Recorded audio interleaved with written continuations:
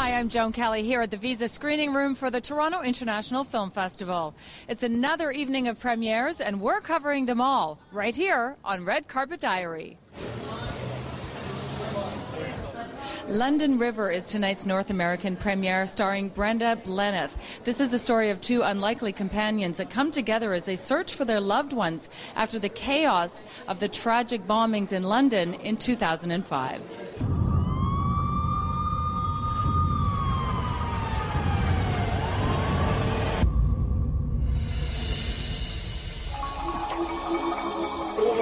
Groups of Londoners are standing on corners asking themselves what has happened here and who could possibly have done this. The, the character I portray in the film lives on uh, in the Channel Islands, and um, her daughter lives in London, is a student in London. And when she sees this on the TV, she tries to contact her daughter, and of course, uh, can't make contact. And after a few days, is very concerned because she knows her daughter would know she was worrying and would have called her, but she didn't. So she has a, a, a journey with lots of surprises in it for her.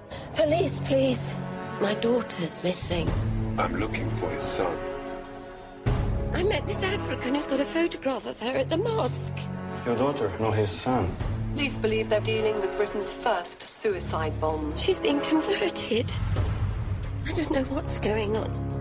Uh, working with Sotigui Kouyaté was a feast. It was just so wonderful. The man is a prince among men. He's, I get emotional talking about it because I just wish he could be here.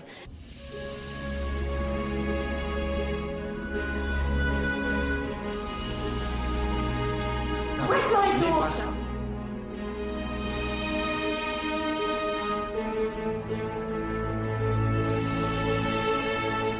What's he been saying?